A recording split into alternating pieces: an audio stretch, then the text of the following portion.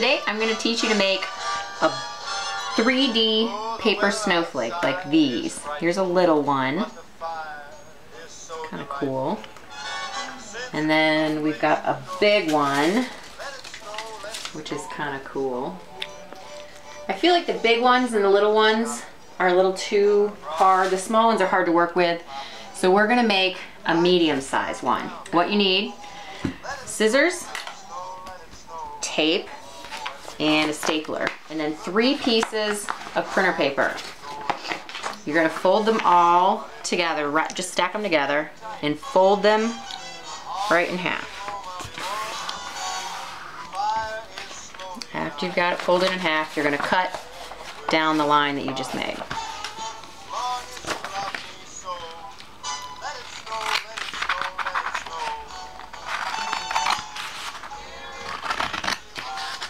So we've now got six pieces of paper. All right. But what you need is six pieces of square paper, and these obviously are rectangular, not square. So in order to make each of them square, you are gonna fold it like this. You're gonna line up the corner and line this up so it's completely straight along here and fold it so that you've got a nice triangular shape here and then you're going to cut off this extra edge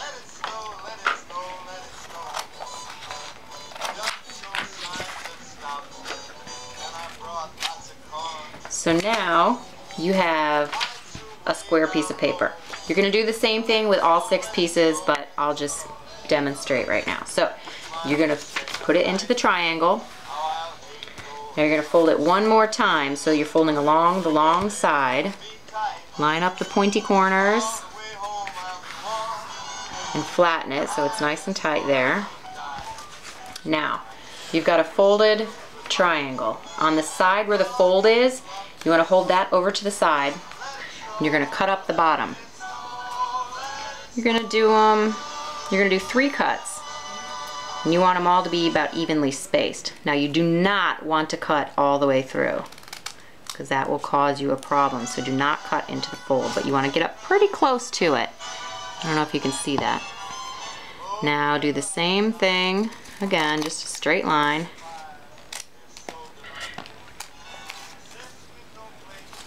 Don't cut through or it's broken. And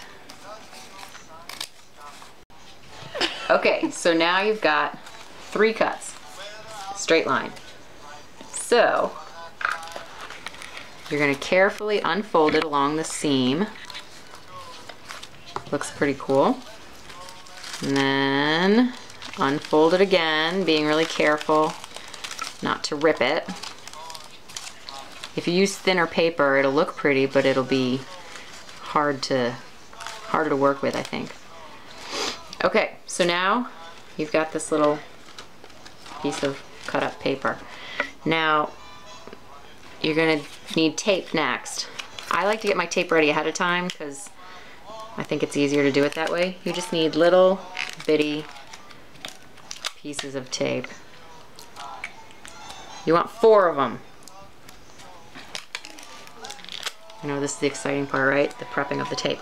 Okay, now you take the middle section and bend it so that the points touch each other. See, nothing fancy, just like that. And then you put a piece of tape to hold it in. Now here's the part that you don't want to mess up. Flip it over so that the rolled part is down. Now you grab the next section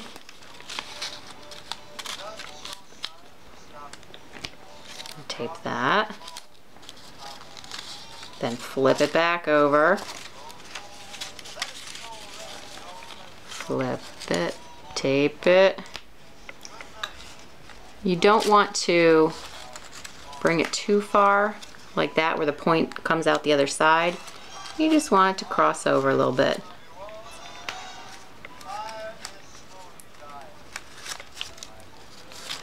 There you go. Now flip it one more time. And do the last piece.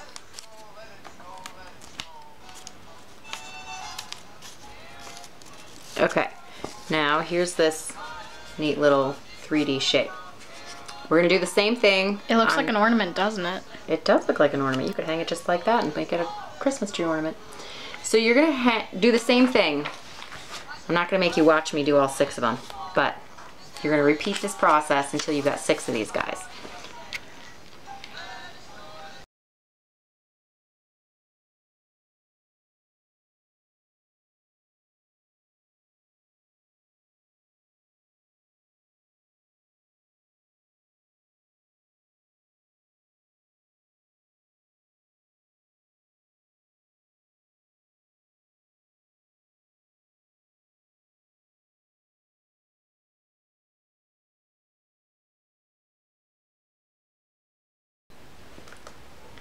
Okay, so now you've got six of these things. What you're gonna do is you're gonna hook three of them together. You're gonna take the corners and just get them together. So you've got a nice little point. And this is where your stapler comes in. You're gonna staple the end of that. See, you don't want it too far in. So that's the first three. And you're gonna do the same thing again with the next three.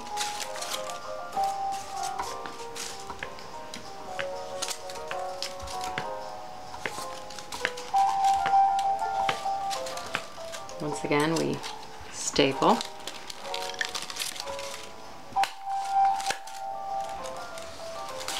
Now, you have two. Can you see it okay? And you're going to take those two places where you just put the staples and you're going to bring in your stapler again and staple those two together. Now your snowflake looks beautiful, but it kind of tends to get out of shape sometimes. I have a camera person. So you're gonna take places where these two things, stop it, connect, where they touch each other in the middle. You're gonna staple those together. Sometimes it won't hold, to get, hold its shape properly if you don't do this. So here's the next two.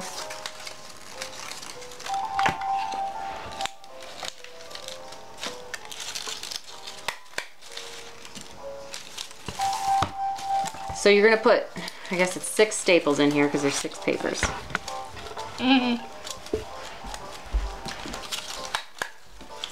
Perfection is not required. Good thing, right?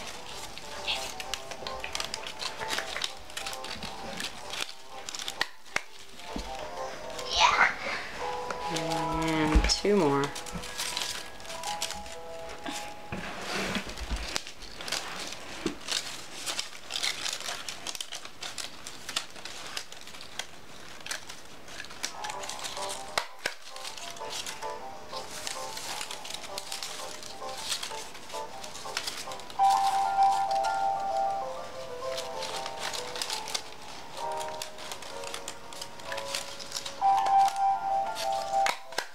Okay.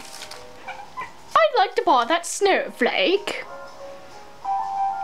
And then apparently cats really like them. Hi. Ow, ow, don't bite me. okay, can you tip the camera? So you've got this beautiful snowflake now. If you want to hang it, I would suggest reinforcing the top. Like you can see where these two spaces are, so I like to make those perfectly on the sides. You would want to reinforce the top with a piece of tape because if you just let Really, I would love to buy that snowflake.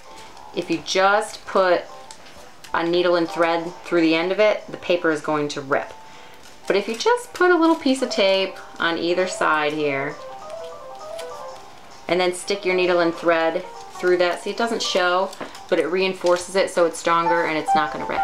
Now you can put a needle and thread through this and you can hang it and if you dangle it from something, it will spin and it will look pretty and it will create lots of lovely shadows. Thank you, and I hope you enjoyed this, learning how to make a big old 3D snowflake.